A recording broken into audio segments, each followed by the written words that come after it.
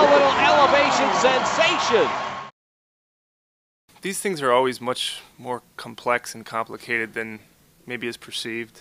They most of the things you discuss extensively don't happen. Um, this was posed by through Boston initially, and um, you know, we were obviously in the market to upgrade the bench. Clearly, we've struggled in that category, and um, we're looking to upgrade. Looked at a lot of different things, and uh, obviously we have to weigh the cost of doing a deal.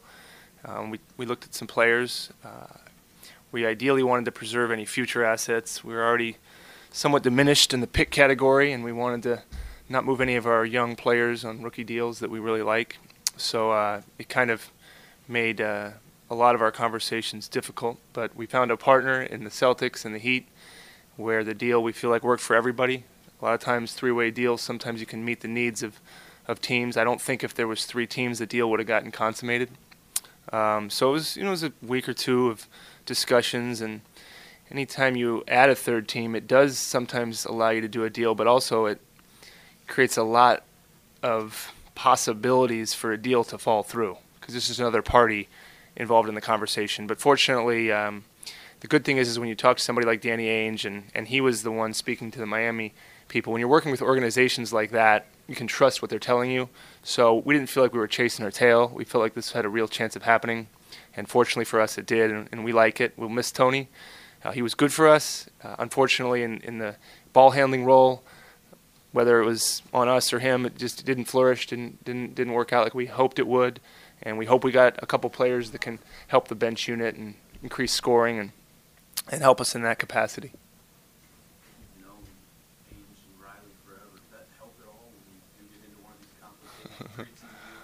I said, uh, Danny, Danny, I don't know if he texted me one day or said to me, he said, you know, you owe me, brother. And I said, man, you already got me the job. He's the one that introduced me to Joe, so I can't really owe him any more than that. But um, it's, yeah, you know what? You work with people, like anything in life, you know, relationships matter. I don't know that that's the reason the deal got done, but like I said previously, when you're working with quality organizations, you can trust what they tell you. Having personal relationships is is good. But deals don't work unless they work for the organization. And we felt like this worked for us. Obviously, Boston felt like it worked for them, as did Miami. Everything got every everybody got something out of it that they liked. We like the fact that he's a ball handling guard. He creates his own shot. Great free throw shooter. That's another category we're, we're, we're pretty beat up in. I think 24th or 5th in the league in free throw shooting. Um, we like the fact that he showed he could distribute the ball this year in a more point guard primary role. Uh, not afraid of the moment takes big shots, makes big shots. If we were at our game, our previous game, he he hurt us. Um, he's dangerous is the word I like to use for a player like that. And and when you're facing players, you're so paranoid a lot of times as the GM when you play against certain teams and certain players because you know they can hurt you. And playing against a guy like him, he can score 10 points in bunches, and that's that's a factor that we were missing coming off the bench that we think we've been able to add uh, in a player like Jordan.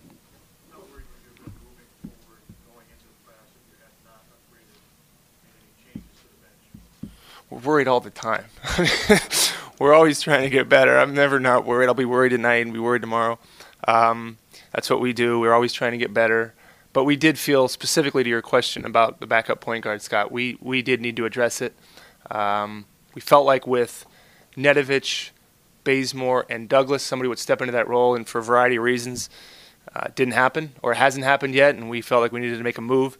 Uh, but we didn't we didn't make a move. I think in a rash type of way. We waited and, and were patient with it and actually would have waited longer to see if something developed. This happened to develop when it did. Both teams were ready to make a move, and um, we felt like it was worth worth making a move for us. Bob, you mentioned that you don't, didn't want to deal any young players on rookie deals, didn't want to give them more picks. Does that mean that what you have here is what you're planning to take in April? No, I mean I would say we're always open to any conversation, but in in in the position of a backup point guard, it's important. It is very important. But we also feel like heading into into the end of the season or possible playoffs, Iguodala can fill that role in a lot of ways. But you don't want him filling that role and playing 42 minutes a night in the regular season if you can avoid it. So uh, to have a cushion a little bit in the point guard position was important for us. But as we move forward and uh, hopefully head into the postseason, uh, we wanted to bolster the bench, increase our depth. Uh, but in in the way of what are we going to do next? Um, hopefully this works for us. This gives us two, three weeks before the trading deadline to evaluate it. Usually, you make moves right up to the deadline, and then you, that's it. You got no more moves to make. Uh, now we have two, three weeks, I think 14 or 15 games to look and see how this works. But at some point, you want to take a step back and give things time to uh, digest, give things time to work before you jump to conclusions and make moves. You don't want to be making moves all the time. Why why Brooks was part of this deal, and what do you, what do you think of that? He was good. He's been good. You know, a lot of times players do well in certain situations and not in others, depending on opportunity, depending on sy- system, depending on fit. Um, we think he's a talented player. He's shown he can play in the NBA. Another guy that can create his own shot.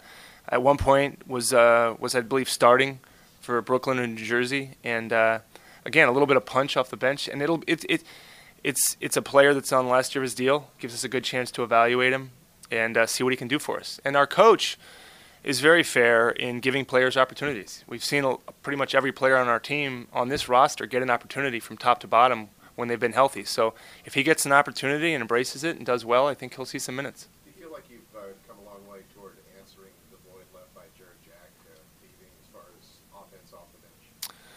You know, I don't know that. I think the idea when we went into the offseason was to certainly evaluate whether to re-sign Jared Jack or not. The Iguodala thing came up, and we pounced on that, which I believe gave us what we thought was a little bit bigger, better version of, of Jared Jack. So I think I listened a little bit of what Coach Jackson said, what Mark said, and he, he addressed it in the way of we don't need to replace Jared Jack because I'm not sure Jared Jack on this team, as it's consummated, would have the minutes or opportunity that he got last year. So that being said, I'd love to have Jared Jack on the team. I mean, he's a good player; it would work. But obviously, you have to look at the financial implications of having a player like that. And he signed a, a great deal, and we're very happy for him.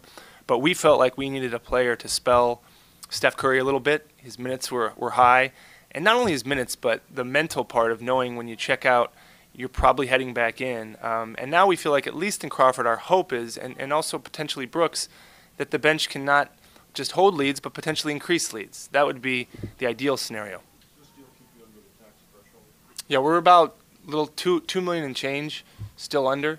Um, but I will say that there's no mandate from Joe or ownership to to stay out of the tax at all costs. If, if a deal presents itself that we feel like moves the needle in a significant way, we'll go into the tax. Um, but uh, again, you don't do that. You, you're, you're, you're smart about going into the tax. It's, it's a real thing, not just financially, which a lot of people view it's only financial uh, punitive measure. It's also system uh, system limitations that are created by going into the tax. You had said you, you wanted to wait and evaluate the roster before you, before you made any moves. Given where this team's at now, we're about halfway through the season. How, how do you feel about this roster? You know, look, I mean, you, you can evaluate the roster in a lot of different ways. Um, the bench we felt like statistically needed work. Obviously, the eye test we felt like it, it needed an upgrade talent wise, and we, we think we did that. You know, you never know how these things play out, but that was the hope with this deal. Uh, the starting unit, when when you evaluate it, I think it's off the charts as far as I think points per 100 possessions, best in the NBA. I think when we're healthy, like, I don't know if it's 20 and three. You guys probably know more than me, but it's 20 and four. I guess if I had a problem with that, I'd be perfectionist. I mean, that, that that's pretty good. Uh, we've got a long way to go. We we still have to. Uh, and we've got a lot of tough games coming up, and um, you know, it's we learn something every night by watching the team. It's, it's still a group of guys that haven't played that many games together, so we'll see how cohesive it can become, and hopefully it'll improve as as the season goes on. I feel like this roster has, has enough to be among contenders for a championship. You know, I, I think an answer to that, question, Antonio, until you've actually seen success in the playoffs with your roster, it's hard to predict what success may or may not come. We've seen success in the regular season up to this point with that roster, with the roster as constructed. Playoffs are a different brand of basketball. Um, you know, it's you can speculate on what will work and what won't, but until you actually see it on the floor, it's hard to really know how well it will work. We believe it has a chance of working.